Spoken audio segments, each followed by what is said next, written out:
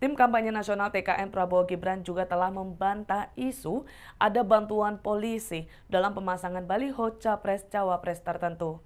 Ketua Koordinator Bidang Strategis TKN Prabowo Gibran Sufmi Dasko Ahmad membantah keras ada bantuan polisi dalam pemasangan baliho untuk Prabowo Gibran.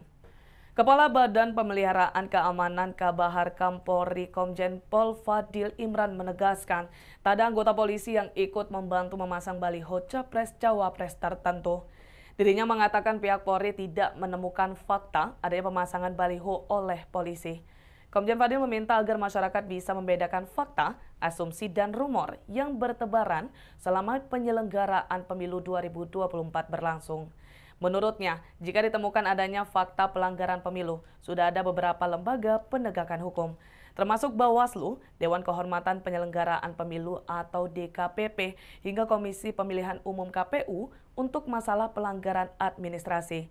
Fadil menegaskan seluruh anggota Polri telah berkomitmen untuk bersikap netral dalam pemilu 2024. Jika ada anggota yang melanggar SOP, maka akan dikenakan sanksi tertentu.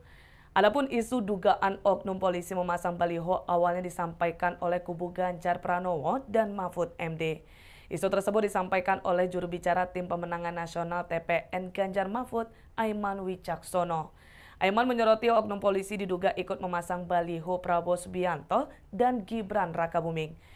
Ikuti terus berita menarik lainnya. Jangan lupa like dan share seluruh akun Tribun Medan.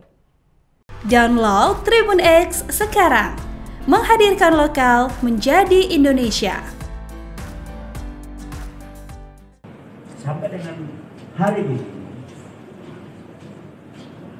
tidak ada fakta yang ditemukan bahwa ada pemasangan baliho oleh polisi. Ya kami terbuka dan Kapolri sudah menyampaikan komitmennya untuk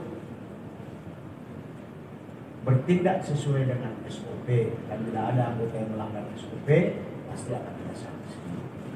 Apakah kode etik sanksi disiplin sampai dengan sanksi pidana